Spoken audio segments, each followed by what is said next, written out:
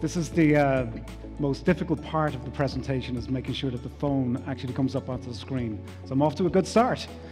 So what I'm going to show you here today is CR2's electronic wallet. And you know, this application that we have here is being powered by the Bankworld platform. So it's not just about the user experience that we're going to be showing you here, but it's also about the platform that's behind it. And this is where we bring all those payment capabilities, we bring all those remittance capabilities, and all of the, the advanced functions together. And then as you as a bank, you'll be able to launch across all the different lines of business that you have uh, an application that will really serve those customers in a very convenient way. Now, the first thing it's all about, as Maeve was saying, onboarding customers. You have to make that frictionless. You have to be able to do it even in a staged way as well. So you don't want to put too much red tape in front of the customers, asking them to get passports, utility bills, and so on. You want to really give them the opportunity just to download the app and get registered very quickly. And then as they start to go through the KYC process, which will be determined by the regulatory obligations by your banks, as they go through different levels of that, you can start unlocking services. And this is a very important part. So as you see on this screen here, this is just an example of, of what your home dashboard would look like. Uh, in this environment here, if a user has already registered, they can just go straight away, they can log in. If they want to register and open up an account, as Maeve was saying, you can go through a very frictionless onboarding process. And I'll do that later on on the, the, the presentation. But for this user that I'm going to log in, which is myself, I've already enabled the facial recognition and this will bring the customer in in a frictionless way straight into their accounts. Now, as you see on the screen, I've still to go through a number of KYC steps, but I'm going to do that at my own convenience. But what I wanted to do straight away was be able to see what the app looks like, see what functionalities I'm going to get, and then as I'm going through the various different levels of KYC, I can fill that out at my convenience. So on this dashboard here, we're bringing the most common functionalities together. First off, we're showing the customer the account. So I, I, can click on this account here. I can see any transactions that I did recently. I can go in and select any of these transactions. I can go and generate a receipt. If this was a payment I was making to a friend and it was overseas, I can just download that receipt and send it directly from my phone uh, using WhatsApp messaging. So it's a very convenient starting point for, for the customer. But another thing customers need to be able to do, and this has to be instantaneously, is to be able to top up their accounts. So on this screen here, in the middle of the screen, I have a top up button.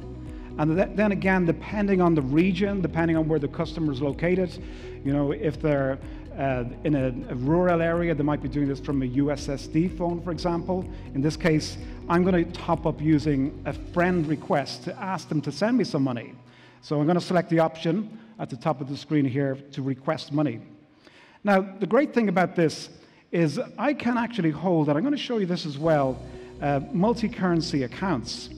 Uh, and this basically allows me to even request a currency. So I'm going to uh, select AVE in this case.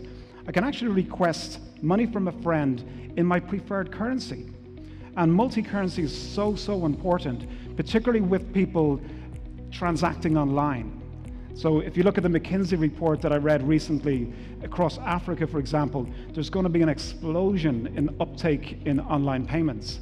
And a lot of that is down to the fact that customers today, tra traditionally, they're not really trusting merchants online. They don't like to give out their details. But with the likes of these virtual cards and disposable cards as well, that takes that away. That it's peace of mind for the consumer. They can go and just make a payment. They can select a particular currency that they want to do that payment in, if they're trading over over borders.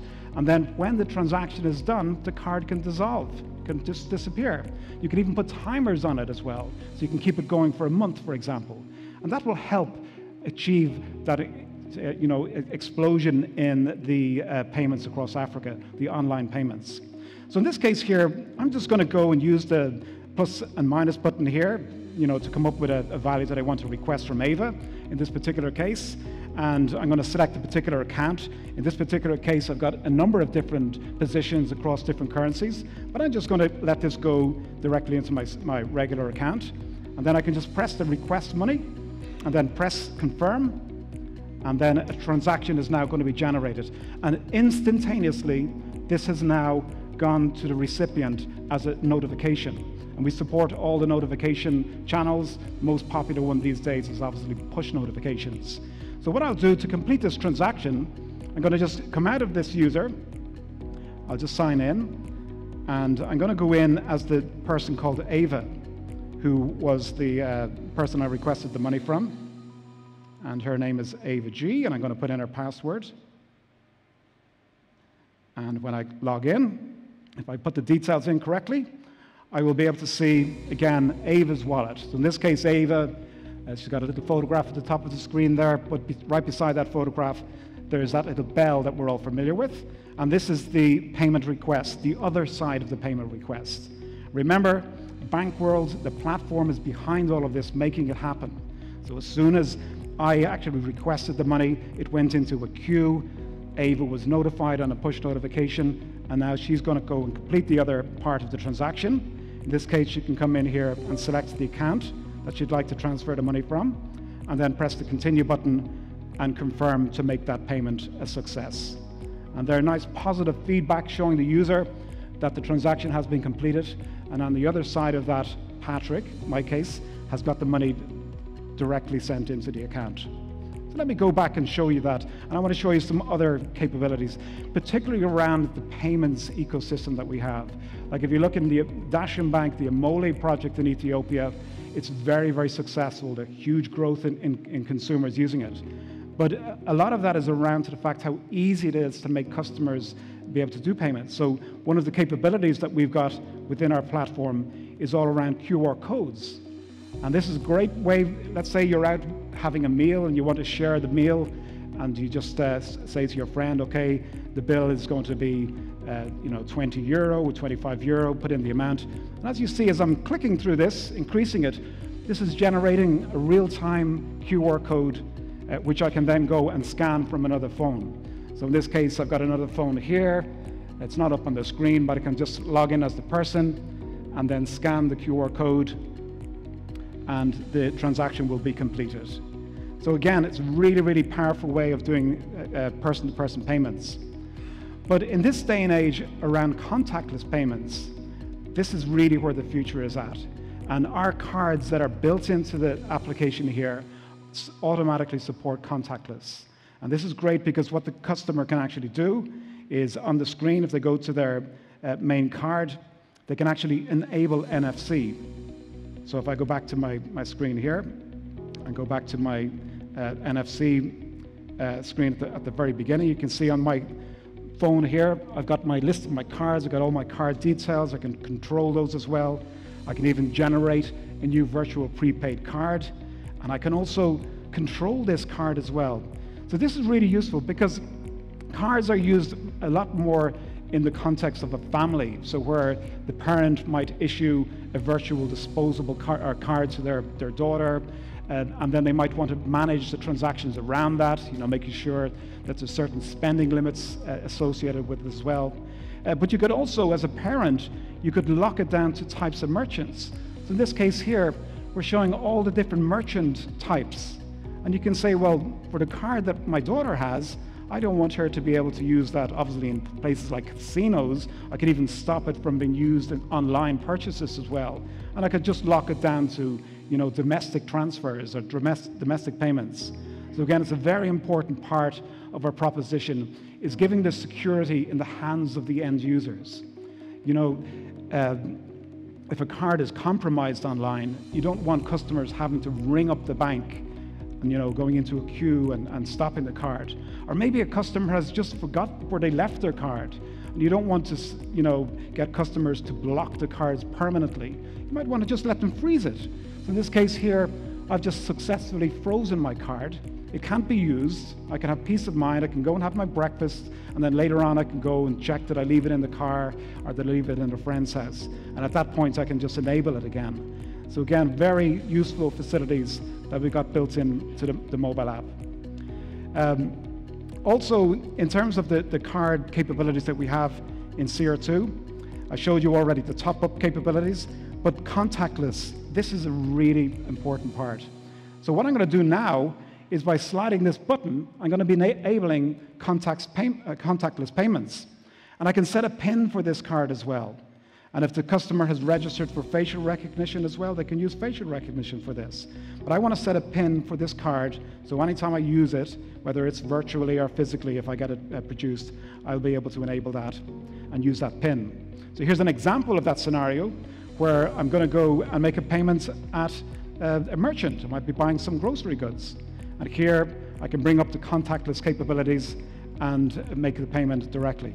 Now, this is where our partners come into play here because the technology that we're using here is using NFC, and that's all around tokenization. We need to tokenize these cards. We need to enable those tokenized cards in the phones as well. Now, although I'm demonstrating this from a, an iPhone, uh, this capability is what you would get on an Android-based phone because Apple have locked down the ecosystem. You know, we can provision these cards into an electronic wallet, you know, the Apple wallet or the Google Pay uh, wallet. But for this uh, scenario here, where you want customers to be able to directly use these cards on NFCs, you can implement this in your bank. Because as you all know, Apple and Google Play are not everywhere. You know, I believe in Africa they're starting off in South Africa. I think there, there's some uh, countries up in North Africa they're going to. But you don't have to wait until they get to your doorstep. You can go and use this capability to enable it for your customers now and if your customers at some point want to use Apple Pay or Google Pay when it comes into place, you can also allow them to provision into those phones as well, uh, into that, that ecosystem as well. So that's just some examples of the capabilities. I showed you the card controls, but obviously customers need to be able to make payments for, you know, not just sending money to their friends or their family, but they also need to be able to uh, pay their bills. And within our platform, we can go and we can connect to any payments ecosystem. Uh, we can, like in Amole, they're uh, selling content on the actual uh, mobile phones. They can even check out and pay for their airline, their Ethiopian airline tickets as well. And that's what it's all about today because, you know, in the past, banks were always focusing on inward facing payments. You know, those payments and transactions that were to do with the bank's core banking system and back end systems they have. But today, it's all about outward facing payments. So giving those traditional services, but also allowing you to tap into payment ecosystems that are way outside of your bank. Or even having the capability to link in a fintech.